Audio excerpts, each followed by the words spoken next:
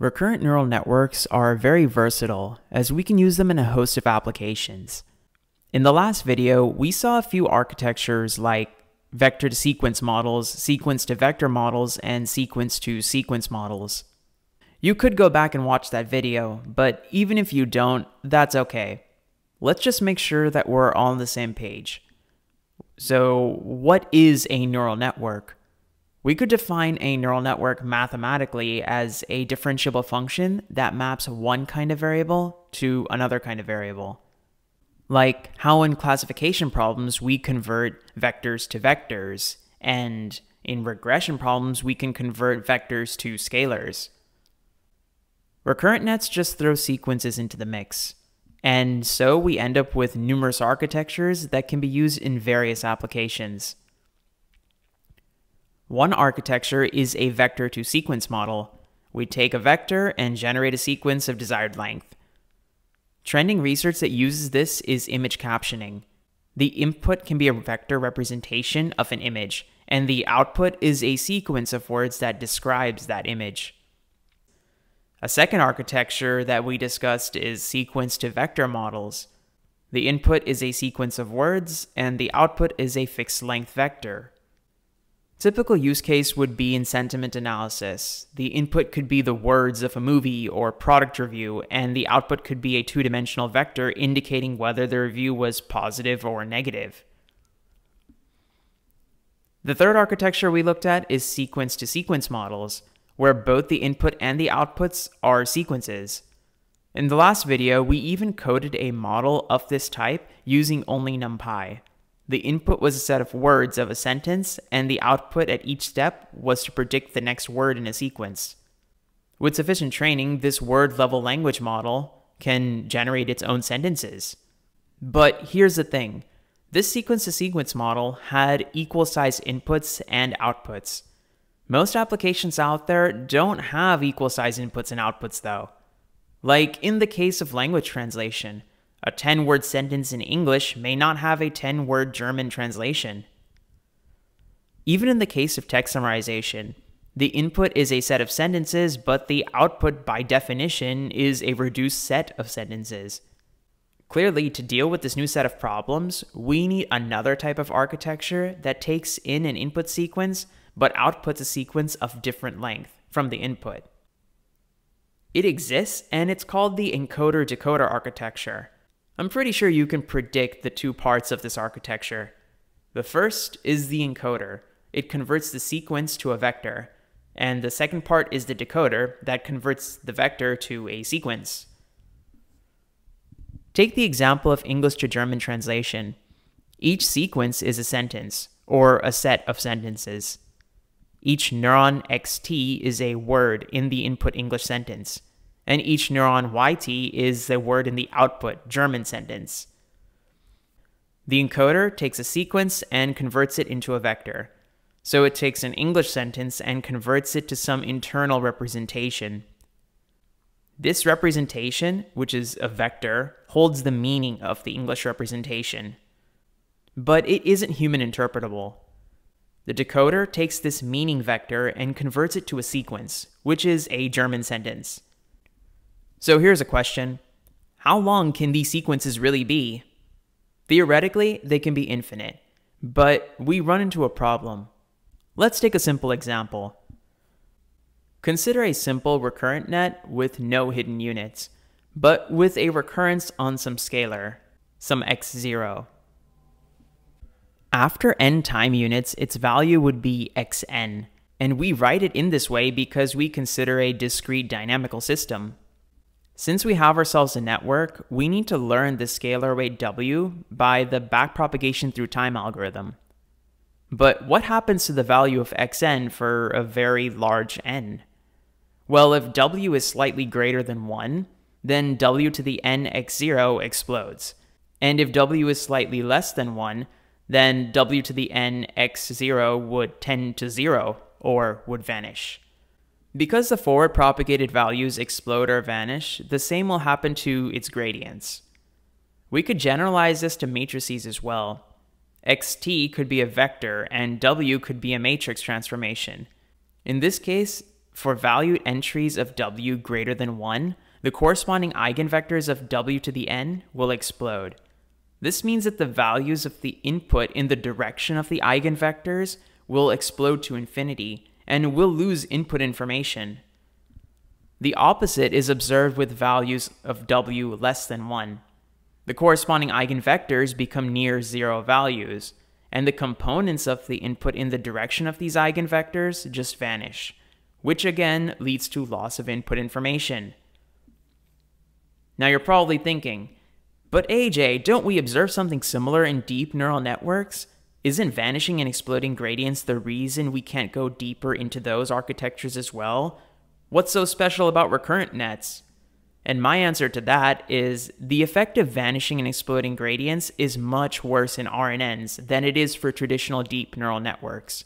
This is because DNNs have different weighted matrices between layers. So if the weights between the first two layers are greater than 1, then the next layer can have matrix weights which are less than 1, and so their effects would cancel each other out. But in the case of RNNs, the same weight parameter recurs between different recurrent units. So it's more of a problem because we cannot cancel it out. Interestingly, this problem in deep neural networks for long sequences was investigated way back in 1991 by Hochreiter, Hochreiter, Horschreiter, Hochreiter. Sepp Hochreiter. It's an interesting read, and I'll link the paper in the description. We have some ways of dealing with this problem of vanishing and exploding gradients. The first thing we can do is skip connections.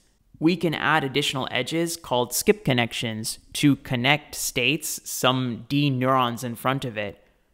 So the current state is influenced by the previous state and a state that occurred d time steps ago. Gradients will now explode or vanish as a function of tau over d instead of just a function of tau. This concept is exactly how the popular ResNet architecture works in the convolution neural network space. The second thing we can do is actively remove connections of length 1 and replace them with longer connections. This forces the network to learn along this modified path.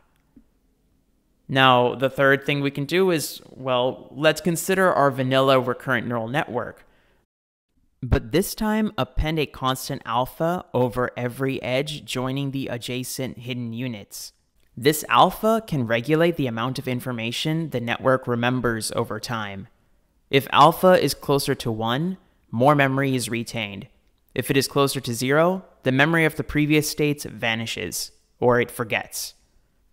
A modification of the leaky hidden units is the gated recurrent networks. Instead of manually assigning a constant value alpha to determine what to retain, we introduce a set of parameters, one for every time step. So we leave it up to the network to decide what to remember and what to forget by introducing new parameters that act as gates. One of the most commonly used gated recurrent neural network architectures is LSTMs, which stands for long short term memory. Consider our vanilla recurrent neural network. Now replace every hidden unit with something called an LSTM cell, and add another connection from every cell called the cell state. And that's it. This here is now our LSTM RNN. LSTMs were designed to mitigate the vanishing and exploding gradient problem. Apart from the hidden state vector, each LSTM cell maintains a cell state vector. And at each time step, the next LSTM can choose to read from it, write to it, or reset the cell using an explicit gating mechanism. Each unit has three gates of the same shape. Think of each of these as binary gates. The input gate controls whether the memory cell is updated, the forget gate controls if the memory cell is reset to zero, and the output gate controls whether the information of the current cell state is made visible. They all have a sigmoid activation. But why sigmoid? It's so that they constitute smooth curves in the range 0 to 1, and the model remains differentiable. Apart from these gates, we have another vector, c bar, that modifies the cell state. It has the tanh activation. Now why tanh here? With a zero-centered range, a long sum operation will distribute the gradients pretty well. This allows the cell state information to flow longer without vanishing or exploding. Now you have an intuition of why LSTMs are constructed in this way, and how it helps to mitigate the problem of vanishing and exploding gradients. The equation shouldn't be too difficult to understand now. Each of the gates takes the hidden state and the current input x as inputs. It concatenates the vectors and applies a sigmoid. C bar represents the new candidate values that can be applied to the cell state. Now we can apply the gates. Like I said before, the input gate controls whether the memory cell is updated, so it's applied to C bar, which is the only vector that can modify the cell state. The forget gate controls how much of the old state should be forgotten. This state is applied to the output gate to get the hidden vector, here we have three gates per LSTM, so we have a slew of parameters to model. But do we really need this complex structure? We could get away with just two gates, an update gate and a reset gate, and this is the basis for GRUs, gated recurrent units. On a wide variety of tasks, LSTMs and GRUs have similar performances. I'll be making a specific video on GRUs pretty soon. We have a pretty good hold on theory now. Let's now build an LSTM text generator, more specifically, a character level language model. Here, the RNN will take a look at a set of sequences, one character at a time, and it will learn to generate the next character in a sequence. This is similar to the text generator that we built in the last video using only NumPy. But this time, we're using Keras, a deep learning library built on top of TensorFlow. The dataset we'll be looking at is a collection of state union speeches that dates way back to the 1940s. You can get this from Python's NLTK corpus. NLTK is the natural language processing toolkit in Python. You can use it for text manipulation, but here we're going to just use it to get the data. NumPy is Python's math library for matrix operations. OS is used to read data from my local file system. Random here will be used for initializing our tensors. We'll import different modules in Keras. Callbacks are invoked after some event happens, like the end of an epoch during training. Model is used to construct our RNN. Layers is used to add LSTM and normal components to our network. Optimizers allow us to define the optimizer for training. This first chunk of code here reads all the files in the directory of our corpus into a single string. Next, we construct a mapping from every character to a number, and also its inverse mapping. The number of characters per sequence will be the number of LSTM cells in the unrolled network. The train set will be a set of these sequences. The labeled output will be the next character. I define a callback print callback and define a method on epoch end, which, as the name suggests, is executed after every epoch. An epoch is complete when all the sequences have been read once by the model. Here, I just want to generate sample data. We use temperature sampling to generate the next character at various temperatures, and just spit it out all on screen. I also save the weights of a model in an HDF5 file, so you can continue training where I leave off. Now we build our model, adding the LSTM cell with a 128 dimensional hidden vector. And the output is simply a softmax vector of characters. The actual result, however, is a one-hot encoded vector. I chose Keras for the implementation to hammer home the fact that there is only one LSTM cell for which the hidden vector updates, the unrolled version is good for understanding mathematically and theoretically the intuition behind recurrent neural networks, but the looped version is how we construct the network programmatically. We use RMS prop to learn the weight parameters as our optimizer. The default parameters tend to work well for recurrent nets, but you can always play around with it. And then we begin our training. I trained this network for 30 epochs, and it took about 6 hours-ish on my little Macaboy. If you take a look at the sample sentences generated after every epoch, you can see the generated sentences get more coherent. Pretty slick, right? If you want to train this further for better results yourself, just construct the model, load the weights, and you're good to go. I'll leave a link to this code in the description down below. A few things to take away from this video. Recurrent neural nets are basically feed-forward neural network layers, just copy and pasted. They learn parameters through the truncated backpropagation through time algorithm, which is basically backprop but applied at every time step.